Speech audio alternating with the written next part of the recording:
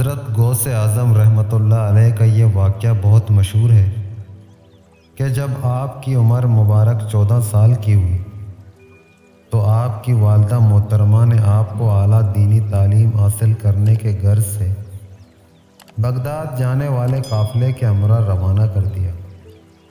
रवानगी से कबल आपकी वालदा मोहतरमा ने आपकी गदड़ी में चालीस अशरफियाँ रख कर सी दी। ताकि हिफाजत से रहें और बवक्त ज़रूरत उनको इस्तेमाल कर सकें। हुआ ये कि असनाए राह में डाकुओं ने उस काफ़िले पर हमला कर दिया और लूट मार में मसरूफ़ हो गए। डाकुओं ने पूरे काफ़िले को इंतहाई बेदर्दी से लूटा।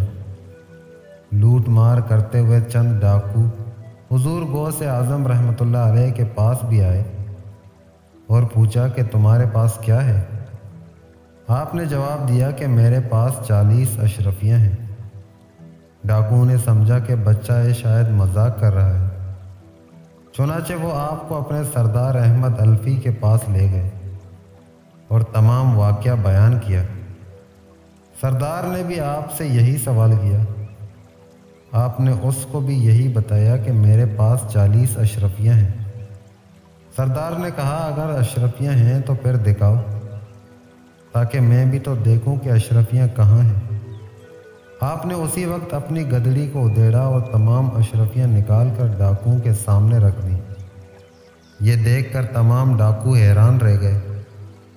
सरदार कहने लगा, ए लड़के, हमने तेरी तलाशी ली तो हमें तुम्हारी जेबों से कुछ ना मिला। हमारे गुमान में भी ना था कि तेरे पास इस कदर अशरफियाँ होंगी। अगर तू ज़ाहिर ना करता तो अपनी अशरफियों को हमसे बचा सकता था। लेकिन तूने ऐसा क्यों किया कि हमसे पोशीदा अशरफियों को हमारे सामने रख दिया? हुजूर गौस आज़म रहमतुल्लाह अलैह ने फरमाया कि मैं तालीम हासिल करने के इरादे से बगदाद जा रहा हूँ। बवक्त रवानगी मेरी वालदा ने यह अशरफियाँ सफ़र कर्ज के तौर पर मेरी गदड़ी में सी दी थी। रुखसत करते वक्त मेरी माँ ने मुझे बड़ी शिद्दत से इस बात की ताकीद की कि बेटा, चाहे कुछ भी हो, हमेशा सच बोलना और सच का दामन कभी हाथ से न छोड़ना। डाकू ने जब ये बात सुनी तो उनके दिल की दुनिया ही बदल गई। उन पर इस बात का ऐसा असर हुआ कि उन्होंने उसी वक्त बुरे कामों से तोबा करके अच्छाई का रास्ता अपना लिया। और हमेशा हमेशा के लिए राय रास्त पर आ गए। उम्मीद करता हूँ आप दोस्तों को यह वीडियो पसंद आई होगी। वीडियो पसंद आ जाए तो वीडियो को लाइक और शेयर ज़रूर कर दीजिएगा। और अगर चैनल में नए हैं तो चैनल को भी सब्सक्राइब कर दें। अल्लाह हम सब का आमिर नासिर हो। आमीन।